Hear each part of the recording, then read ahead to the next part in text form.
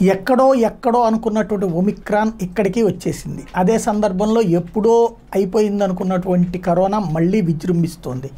Delta అయిపోయింది delta plus అయిపోయింది. ఇక ఎండమిక్ స్టేజ్కి వచ్చింది. పాండమిక్ నుంచి అని సంతోషపడేటువంటి దశలో తాజాగా పుట్టుకొచ్చినటువంటి సౌత్ ఆఫ్రికా వేరియంట్ ఒమిక్రాన్ అది కాస్త క్రమంగా సివియర్ అవుతా సీరియస్ అవుతున్నటువంటి నేపథ్యంలో ఒక్క రోజుకి అరవై ఐదు వేల కేసులు నిన్న నమోదైనాయి. ఈ అరవై ఐదు వేల కేసులు భారతదేశంలో ఇప్పుడు నూట యాభై కేసులు చేరినాయి. మొన్న అప్పుడు ఒకటి రెండు మూడు ఐదు పది పన్నెండు అనుకున్నాం. ఇప్పుడు ఏకంగా నూట యాభై ఒక్క కేసులు నమోదైనాయి.